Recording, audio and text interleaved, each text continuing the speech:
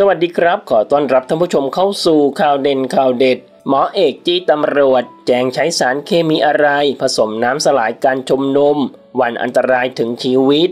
สำหรับสถานการณ์การชุมนุมเมื่อวันที่ 16 ตุลาคมที่ผ่านมา ทางเจ้าหน้าที่ได้ฉีดน้ำสีฟ้า เพื่อสลายการชุมนุมทำให้เกิดกระแสวิพากษ์วิจารณ์กันอย่างมากล่าสุดหมอเอกก้าวไกล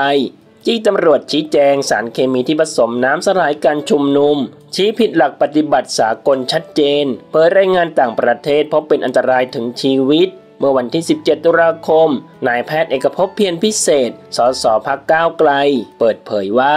เหตุการณ์ใช้กำลังทำร้ายประชาชนเมื่อคืนนี้ เป็นการกระทำที่รุนแรงเกินกว่าเหตุ และผิดหลักปฏิบัติสากลอย่างชัดเจน ซึ่งสหประชาชาติได้กำหนดแนวทางไว้ว่า การจะใช้ปืนฉีดน้ำแรงดันสูงนั้น จะต้องใช้เฉพาะในเหตุจราจรที่อาจก่อให้เกิดการบาดเจ็บล้มตาย หรือมีการทำลายข้าวของอย่างกว้างขวาง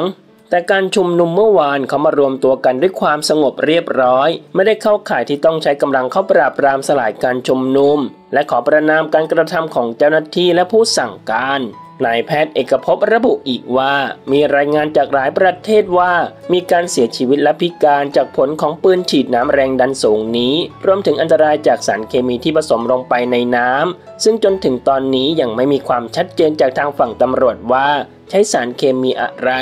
จ้าหน้าที่ที่เกี่ยวข้องต้องออกมาชี้แจง จะแจ้งแค่ว่าเป็นน้ำผสมสารเคมีไม่ได้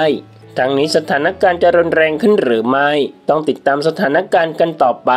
หากมีความคืบหน้าจะรายงานให้ทราบต่อไปครับท่านผู้ชมนะครับ มีความคิดเห็นอย่างไรกับเรื่องนี้ลองแสดงความคิดเห็นกันเข้ามาดูนะครับ ขอขอบคุณข้อมูลจากสยามสตรีทกับคุณครับ